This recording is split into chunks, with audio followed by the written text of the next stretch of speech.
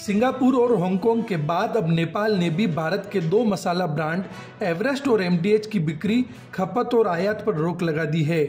नेपाल के खाद्य प्रौद्योगिकी एवं गुणवत्ता नियंत्रण विभाग के प्रवक्ता मोहन कृष्ण महाराजन ने न्यूज़ एजेंसी एएनआई से कहा कि नेपाल में आयात किए जा रहे एवरेस्ट और एमडीएच ब्रांड के मसालों के आयात पर प्रतिबंध लगा दिया गया है।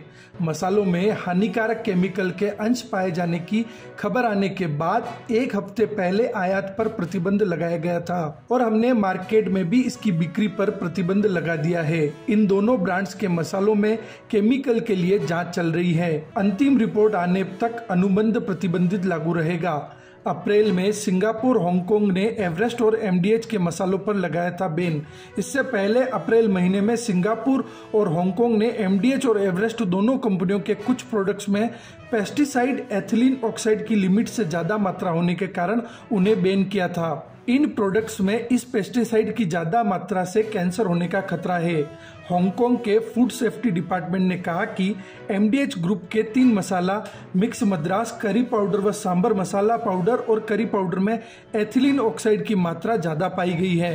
एवरेस्ट के फ़िश करी मसाला में भी यह कार्सिनोजिक पेस्टिसाइड पाया गया है।